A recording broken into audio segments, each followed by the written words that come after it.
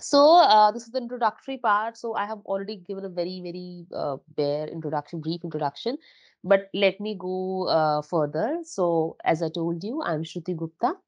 I have been taking trainings in Koenig for more than six years now.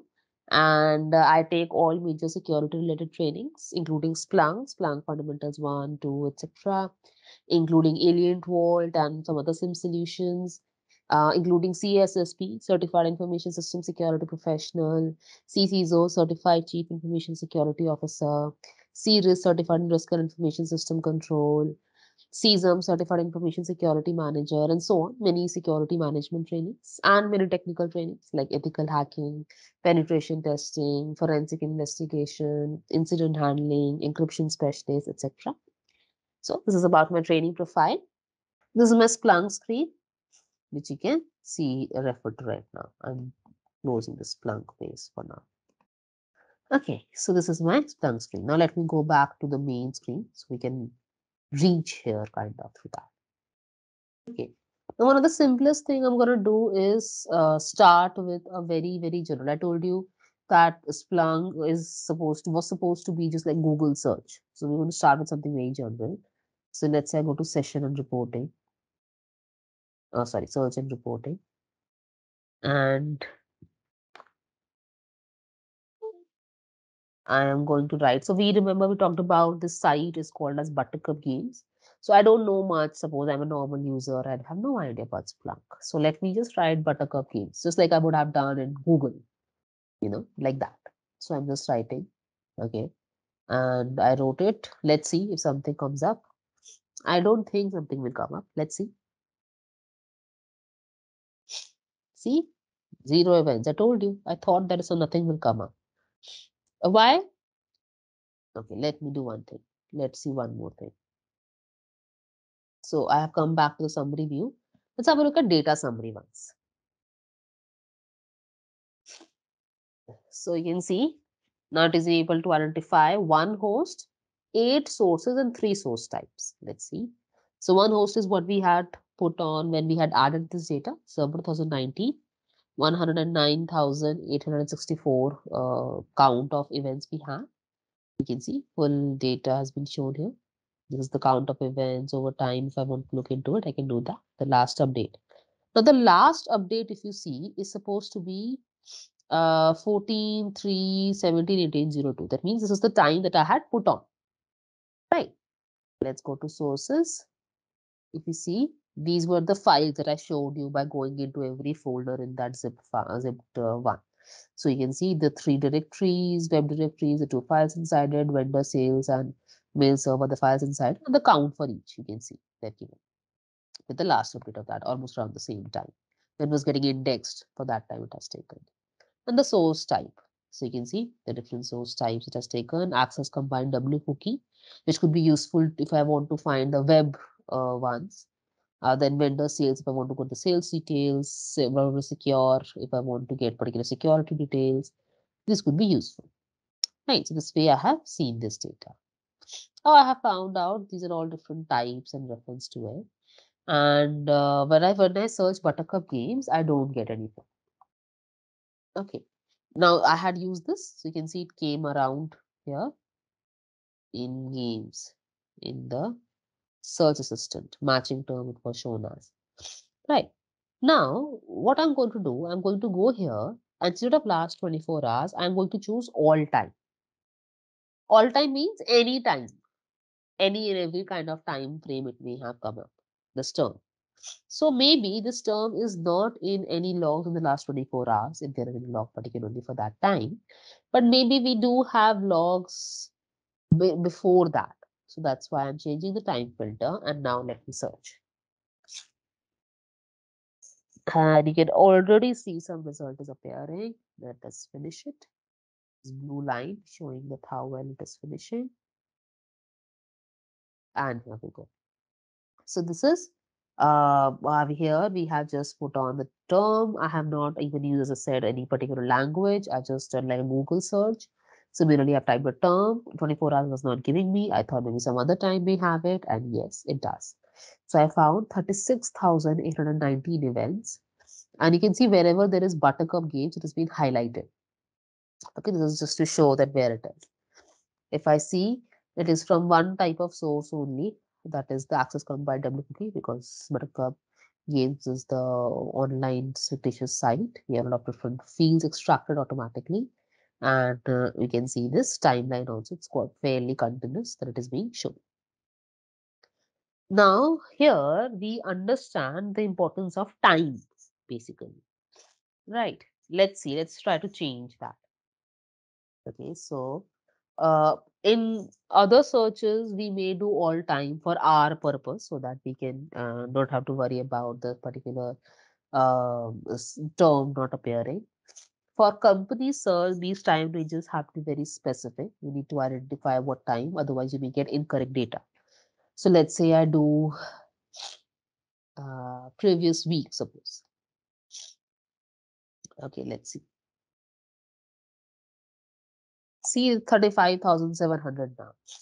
Right, so this way it will keep showing me.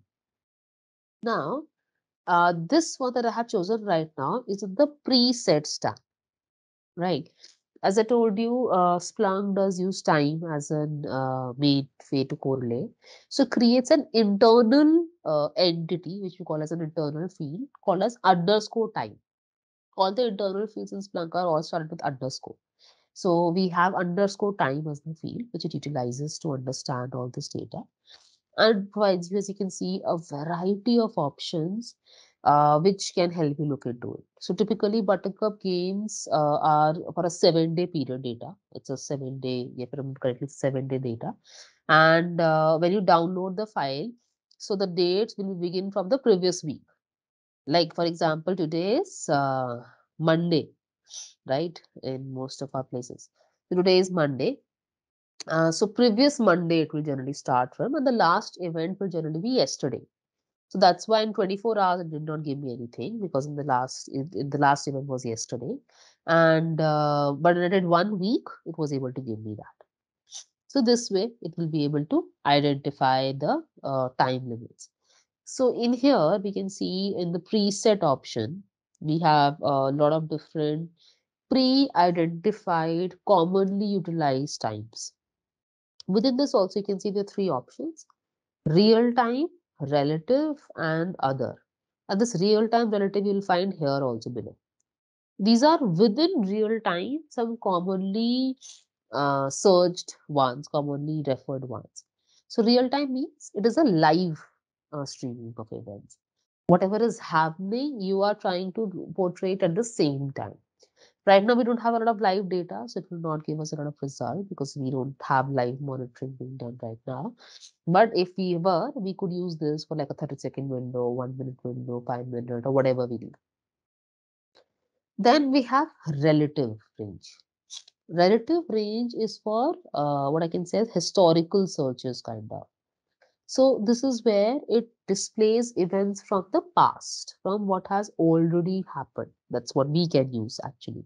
That's why I chose one of these somewhere. I chose, I think, last seven days or previous week I chose. Yeah, previous week is what I chose.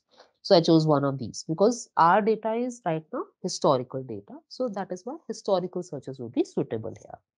If you have real-time data, you could do real-time searches also. There is no problem with that. The out of relative also, here they have uh, mentioned or they have identified the most commonly referred one.